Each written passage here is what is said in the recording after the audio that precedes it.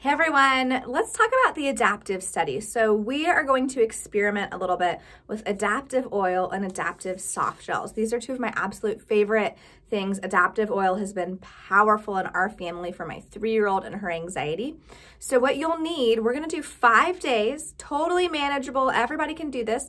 We're gonna do two Adaptiv, Adaptiv capsules per day, and we'll be using Adaptiv oil throughout the day. So what you will need to plan to do is every morning and every evening, you're gonna take one Adaptiv capsule and then have your Adaptiv oil, preferably go ahead and make it into a roller bottle or use your sample with some coconut oil, but probably two to three times a day we're gonna roll that Adaptiv oil right on our hands, practice some deep breathing, and then hit pulse points afterwards. So five days only. And what we would like you to do is consciously observe your responses. How does Adaptiv impact in the morning your mood? If you're home at toddlers, quarantined, wearing masks, um, do you feel more able to cope?